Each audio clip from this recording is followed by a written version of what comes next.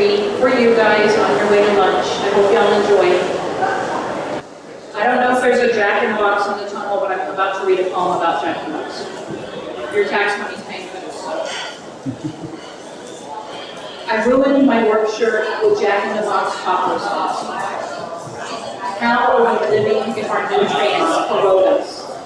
How are we living when one dot of brown makes a difference in how we're perceived? You can clap, you can pretend you're happy.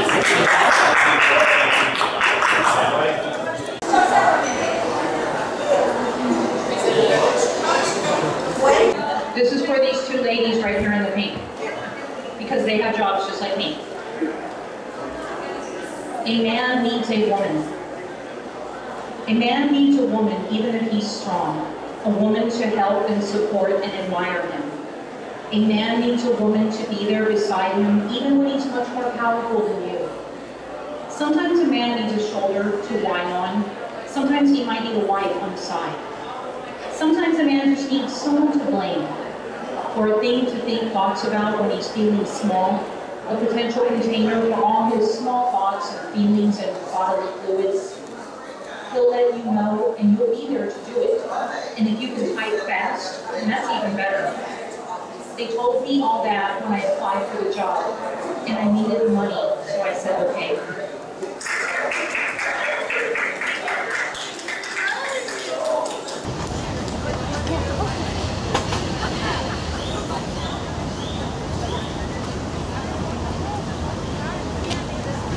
Our love is like a bomb shelter baby. I like lying safe with you here in the dark, but still keep planning in case I'm left alone. Why do I hide the bright jars of pears away?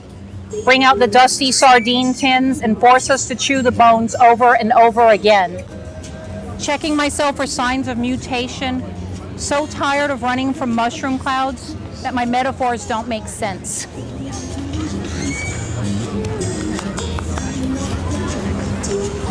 Like, okay, I'm dying. I'm Martha. Hello, it's Alex. We have Martha and Alex, and we're going to read them a poem about love and voicemail.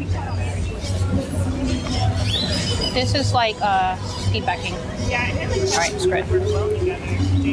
He dialed me by accident, and I eavesdropped. Tiny phone in my hand, tiny time machine bringing me love from last night. Listening to nothing for well on 10 minutes. Imagining him late in his car last night. Starry Houston flashed by out the windows. He changed the CD. This one had a slow, quiet intro. I listened. He burped a small burp. Then he spit out the window. The sounds were disgusting but also endeared as they taught me his normal restraint on these points. That's it. See, painless. I meant to do this again?